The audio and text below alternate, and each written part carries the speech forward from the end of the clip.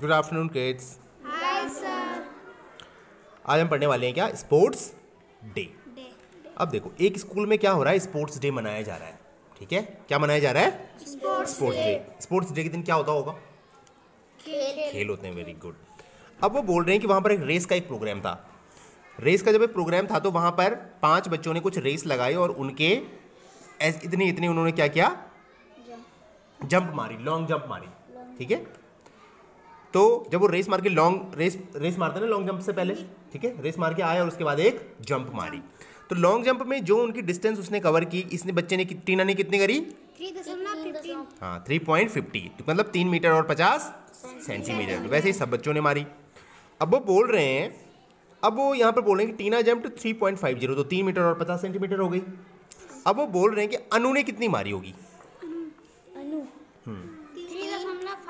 हाँ।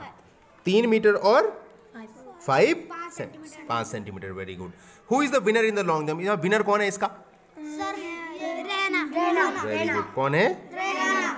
रे? हाना चलो जी ये तो हो गया।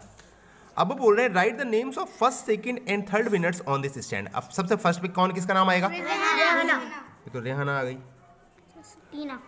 अब देखते हैं सेकंड कौन है? सेकंड देखो कौन है। हाँ कौन? टीना नहीं। मीना और फिर?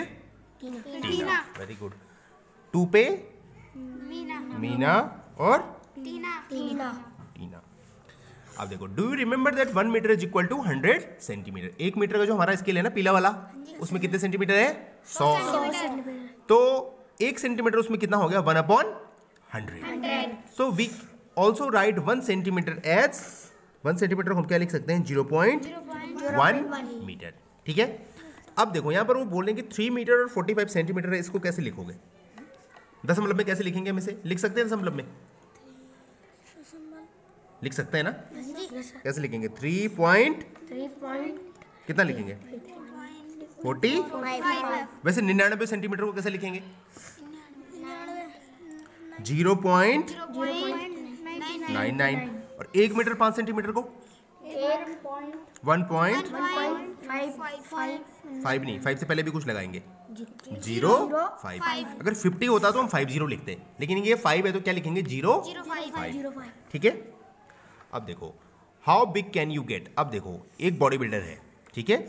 जब उसने सांस ली तो उसकी जो छाती थी वो कितनी फूल गई? 1.52 मीटर की।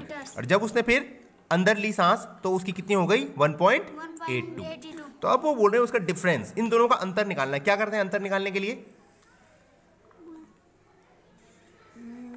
हाँ। अंतर।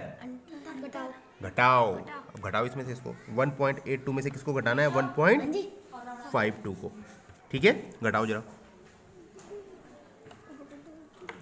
बताओ। Zero, zero. तीन। ज़ीरो। कितना हो गया? Zero point three zero. ठीक है? क्लियर है? कि नहीं है? कर लोगे Yes.